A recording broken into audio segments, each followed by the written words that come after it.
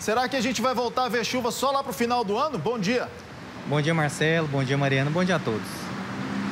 Por enquanto não, Marcelo. É, ainda, ainda bem, né? Porque realmente o período seco, nós estamos aí praticamente há nove dias sem chuvas desde a semana passada. Nós estamos com um bloqueio atmosférico, né? Uma, um sistema de alta pressão bloqueando a formação de áreas de instabilidade.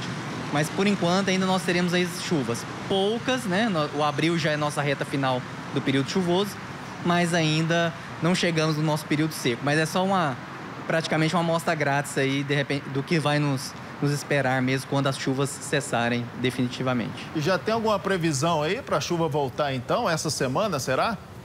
Sim, é, esse, esse bloqueio atmosférico ele vai começar a perder intensidade a partir de quinta para sexta e pegando o final de semana.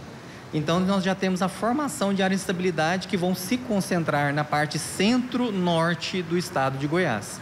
Então, assim, mas não estamos esperando grandes volumes, mas algumas chuvas, é, pancadas de chuvas isoladas, né, que pelo menos vai amenizar um pouco o calor, porque no norte e na região oeste do estado nós estamos chegando a 37 graus.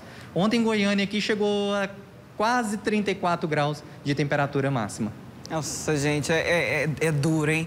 André, eu estava até conversando ontem é, com uma pessoa, que, é, passando ali numa rodovia, a pessoa falou assim, eu acho que esse ano vai ser mais seco do que ano passado, porque os rios estão mais baixos, pelo que a gente observa nas estradas. Você confirma isso? Você acha que vai ser pior a situação de estiagem esse ano aqui em Goiás?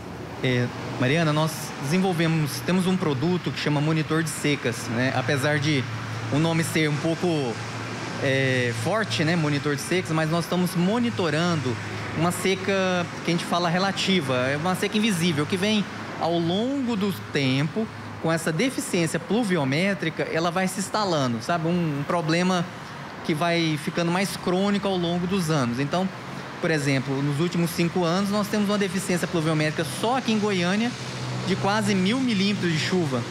Então, é, tá, está faltando chuva realmente. Nos últimos anos, chove, chove de maneira irregular e quando chove, chove demais, aqueles chuvões, né?